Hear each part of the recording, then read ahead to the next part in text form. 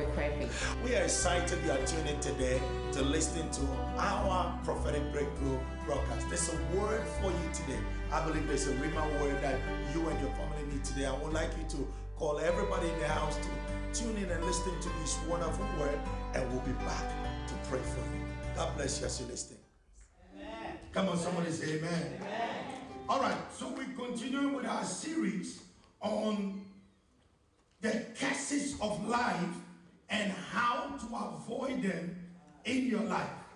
And today we are going to be concentrating on the curses of parents. The curses of parents. Parents, your, the, your parents are very, very instrumental in your life. Amen? Let's please put our scriptures back there. Ephesians chapter 6, 1 through 3. Ephesians chapter 6. The curse of parents. That is a, that is under the curse of man. And we've said that God curses. We've also said that because God curses, God backs the curse of man. Amen. Children, obey your parents in the Lord, for this is right. Tell somebody, it is right, it is right. to obey, obey. your parents in the Lord. Then verse 2 says, Honor your father and your mother, which is right.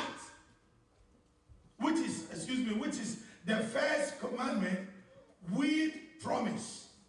Now let's look at the promise. So there is a blessing that comes with honoring your mother and your father.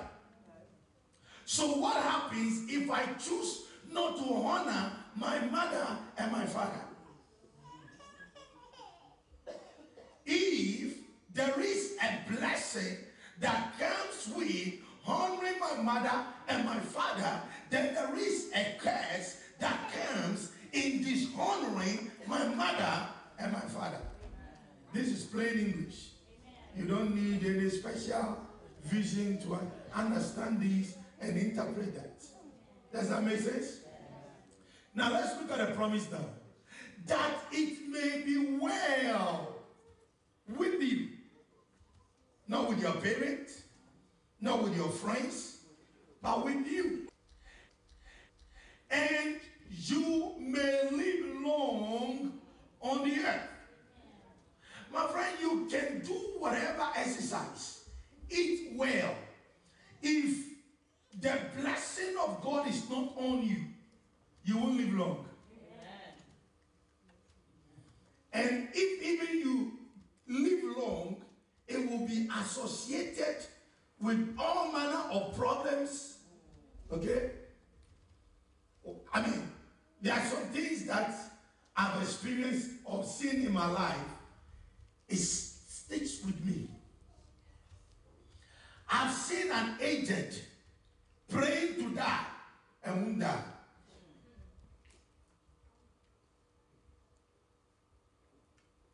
And this happened in a village where I went to school. They would take this woman out every morning to come and sit in the sun to dry hair because she couldn't work, she couldn't do anything. So she can have the sun. Her skin was rotting, alive. That's not a blessing. There's no way you read in the scriptures that the Bible says that. It said, with long life I satisfy, but it didn't say that your skin will be rotting, your flesh will be rotting, stinking, smelling, where they will put you outside. So if even you live long, ladies and gentlemen, it will be accompanied with pain and misery because you have decided not to live by the word of God. That it may be well with you. Success in life is not just based on how much degree you acquire in life or how hard you work. It is the blessing of the Lord that makes one rich and have no sorrow. There are people with numerous degrees and still they're not successful. Because they've not, they're not living by the word of God. Please let me tell you something. And I pray to God because I'm going to stay with this for a while because I'm beginning to see that it's one of the assignments. And this end time church, we we, we are quick to talk about grace, and I'll get into that when we get to second service. Uh, we, we're quick to talk about grace. Is it the danger about grace is that sometimes grace will work to give you opportunity to repent. Amen. Amen. Yes. Yes.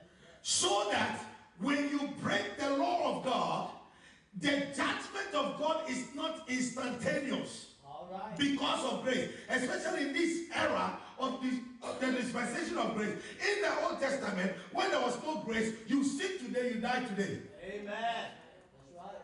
Amen.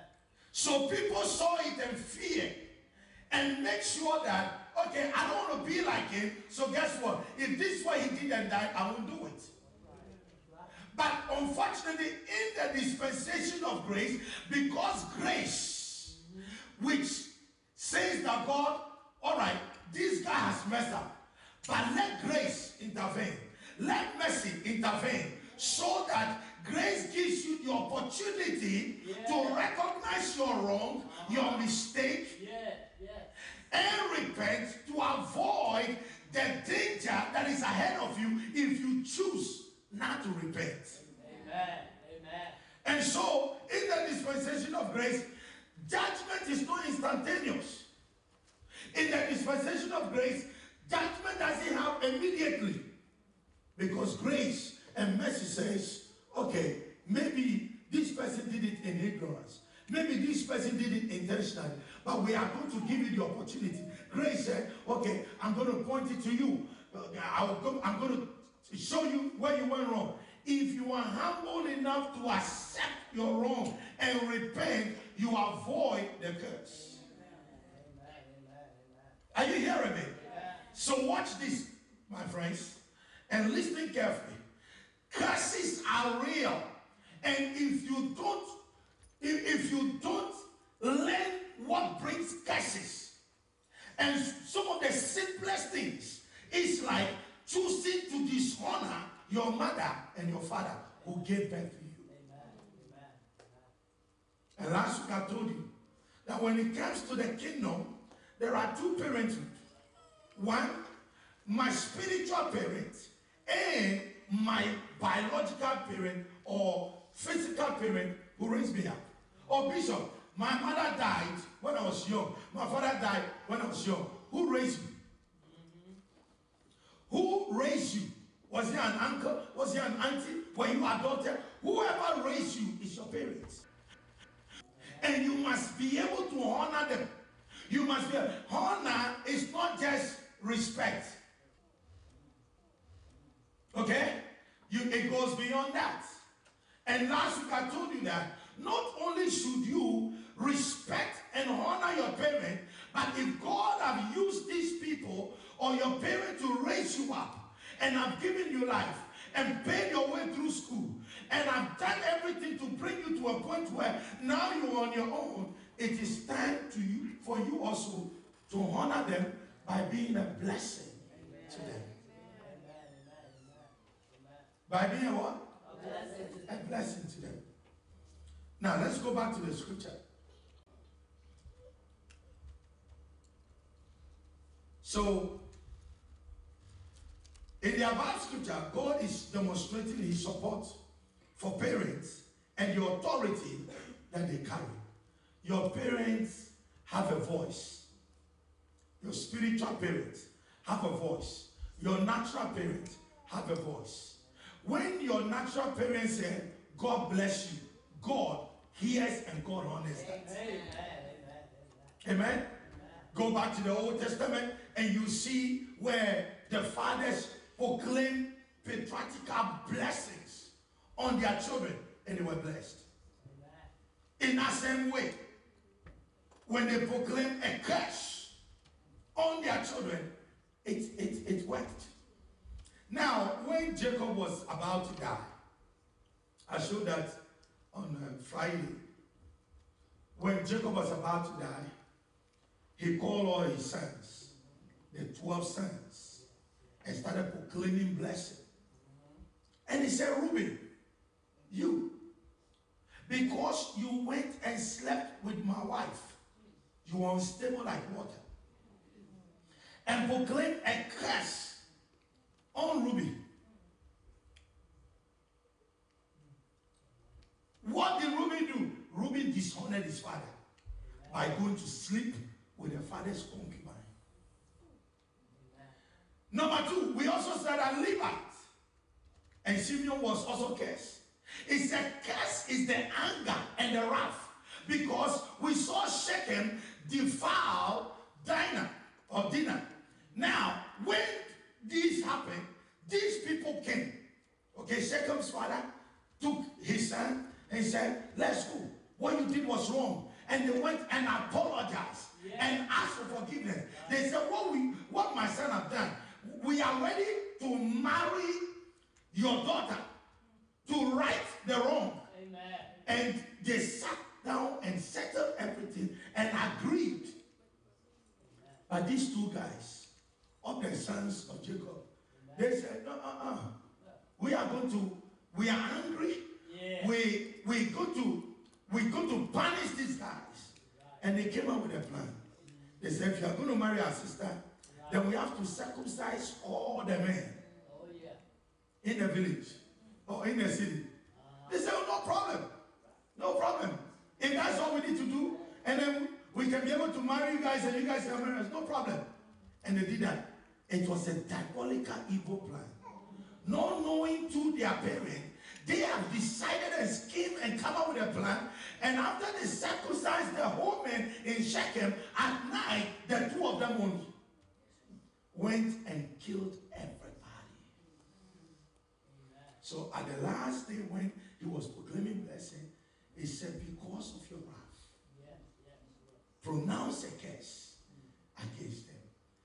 And you see, when he came back and he saw what they did, he said, You have dishonored me. I gave my word to these people. I'm a man of integrity. I'm a man where my yes is yeah and my nay is nay. I gave my word to these people, and now you have killed these people. What have you done to me and my name? And he pronounced a curse on them. Moses had to come before that curse was announced. Are you still here? Hear me. Our biological parents occupy a very sensitive place in our destiny. There are many today in life, and even in the church, that are being tormented and tortured because they have despised their parents. Don't misunderstand grace and think that because I live under grace, I can do any, anything, act any way, and get away with it. No, don't do that. It's a wrong deception from the camp of the enemy. A careful study of the Word of God brings the understanding that we have two kinds of parents our natural parents and our spiritual parents. When God said, Obey your parents in the Lord, He meant your spiritual parent. That's your pastors. Listen, see, some people want to follow God, but they want to follow God in their own terms. Let's let's be true to ourselves and let's follow what the scripture teaches. When you read Ephesians chapter 4, verse 11, it said, Himself, Jesus Himself, gave some to be apostles, to be prophets, uh-huh. to be evangelists, to be pastors, and to be teachers for the equipping of the saints. Are you here? So, pastors, when you read Ephesians, I know Jeremiah chapter 3, verse 15, put it on the screen. It said, I will give you pastors or shepherds after my own heart. And so God gives you also spiritual parents in the form of your pastors to guide you in life. Are you still here? And I will give you what? Shepherds, according to my heart, who will feed you with knowledge and understanding. Go to the next verse, please. Then it shall come to pass when you are multiplied and increased in the land in those days, says the Lord, that, that they will say no more the ark of the covenant of the Lord, and it shall come to mind. It shall not come to mind, nor shall they remember it, nor shall they visit it, nor shall it be made anymore. Because at that time, these pastors and these men of God will be the custodians of the truth, who will teach you the truth, who will teach you the word of God, who will instruct you in the way to go. Amen. I've noticed a trend going on. You know, Bible is so true. It said in the last days, knowledge shall abound. We have gotten to a point where now people are even questioning the very existence of God. People are questioning, is the Bible really the word of God? And you know when people start going to that part, I mean, that you know Satan is coming to deceive somebody. Amen. That's what they did in America. They took prayer out. They took the word of God out. Amen. Look at what is happening in America today. All these sexual abuses that are, how long has this been going on? In the corridors of power. This thing has been going on in Hollywood. Suddenly people are coming out and saying what has been to them 20 years ago, 30 years ago. Where have been all these people all this while? Every time we take God out of society, this is what happens. Oh, yes. Amen. Amen. The hypocrisy of the highest order. Yeah. Amen. Are you here? Amen. Look at someone and say, God has given you spiritual parents. Obey them.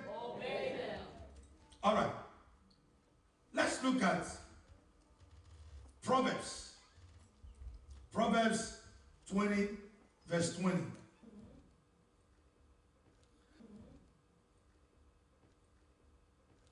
And I want to say this right here that please never curse your mother or your father. I don't care how angry you are. Amen. Read this. One go. Whoever curses his father or his mother, his lamp. Hold on. What is the lamp? Your life, your destiny, your star. Everybody has a star. Everybody has what? When Jesus was born, his star appeared. The wise men saw it and they followed the star to go to where he was and they brought him gift and honor. That star is your lamp. Your life is your lamp. It's your light that guides you. And the Bible said, whoever uh, curses his father and his mother, his lamp will be put out in deep darkness. You won't find your way in this life.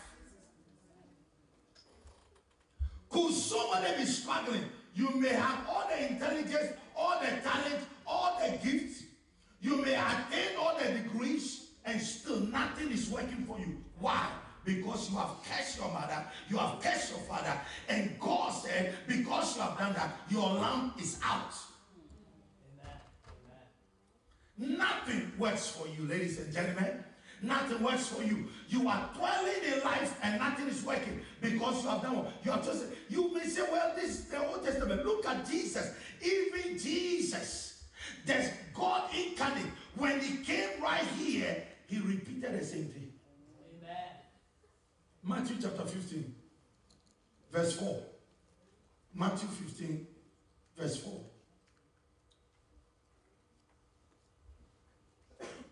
Let's read together one go. For God commanded, who commanded it? God. No, no, no, no. Uh, oh, government policy. It's government policy. No. Huh? God. God. For God commanded, saying what?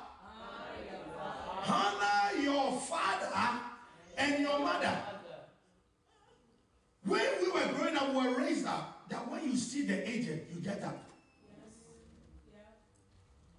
I dare not talk to you without putting my hand behind me. Yes, sir. Yes, ma'am. Please.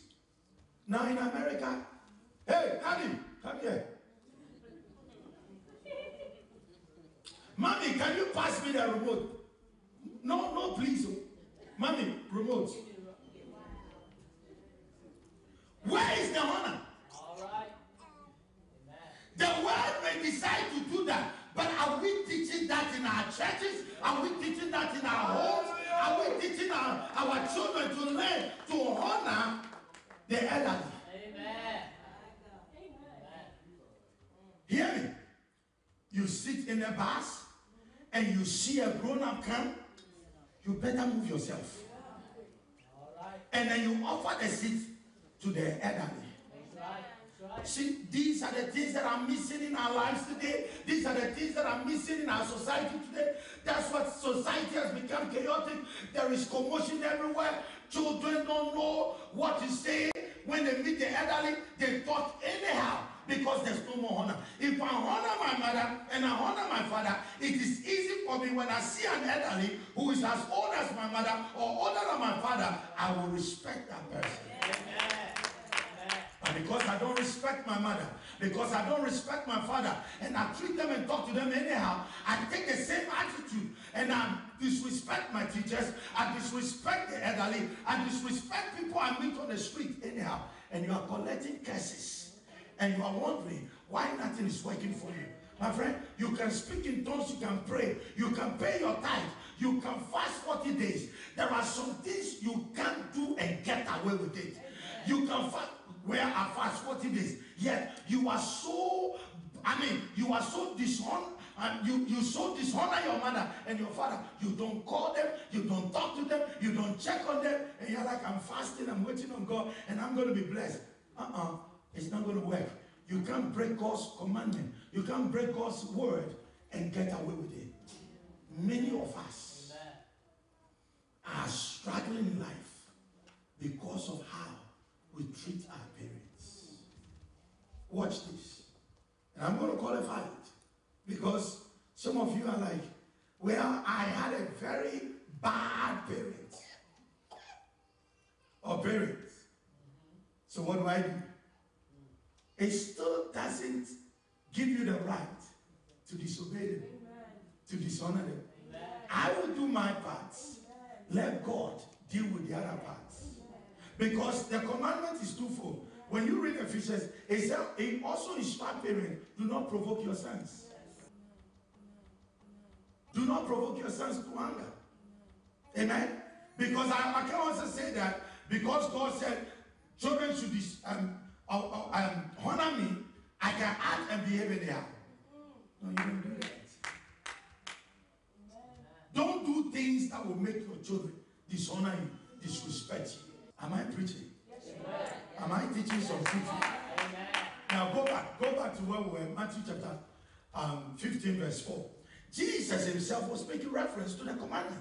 And he said it's been commanded. He said, For God commanded, saying, Honor your father and your mother. And he who curses father or mother, let him be put to death. And he's not talking about physical death here. It's the same scripture Proverbs spoke about. That the lamp, the lamp of your life will be put in darkness. Period. There are some people, they are alive, but they are dead. Amen.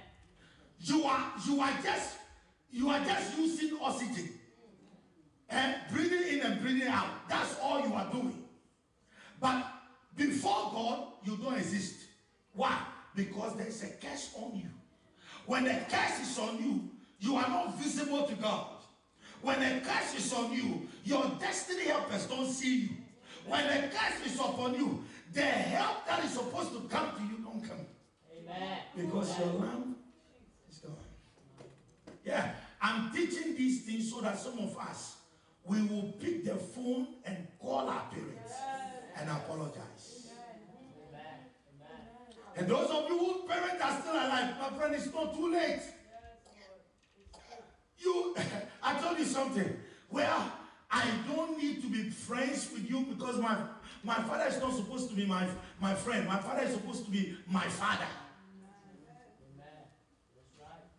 And if God blesses you and he's your friend, bonus. But he's my father, and father means source. From him I came. My mother gave birth to me. From, from her I came. So I honor them, I respect them, I cherish them, and God looks at that and blesses me. When I disobey them, I am violating God's commandment. I'm dishonoring God's commandment. I'm saying to God, God, you, of all human beings, you decided to pass me through this one. You are insulting God, and God will react. When, you know, some people sit down, well, I wish I was born here. Uh, my friend, are you trying to tell God God made a mistake? God didn't make no mistake. He knows you. Are you hearing me? Honor your mother. Honor your father. Hear what Jesus said. He said, For God commanded, not man. Look at somebody else and tell the person, You have been instructed. And, and commanded to honor your mother and your father. Do it. So it will be well. Welcome back. I pray that you were really blessed by the word of God today. And I just want to agree with you and pray with you that everything you are trusting God for, because I know our God is able. So please, let's agree and pray. Heavenly Father, I pray for whoever is watching this show. And I pray in the name of Jesus that whatever they are trusting you for, for their family, for finances, for their health, that Lord Jesus, you will come in right now and touch their life. That they, they will be healed in their body in the mighty name of Jesus. And those who are trusting you for financial breakthrough, that Lord, the Bible says that it's you who give us power to make wealth. You will provide every need for them right now in the mighty name of Jesus. That their life will not be the same. And those who don't even have any relationship with you, I for them that through this broadcast they will have in contact with you and you will touch their life and their life will never be the same. We thank you in the mighty name of Jesus. Amen. Amen. And I trust that you've been blessed today. And I want to use this wonderful opportunity to invite you to fellowship with us. On Fridays, every Friday, we have our prophetic encounter service. It's a time we spend time in prayer and in the prophetic. For you. So please come on in. You are sick in your body, you're trusting God for a miracle. You want us to agree with you as touching anything. Just join us and be part of it. And on Sunday mornings at 10 a.m., we have our victory explosive service. It's powerful, and I want you to come with your entire family and be part of this service. We look forward to see you and be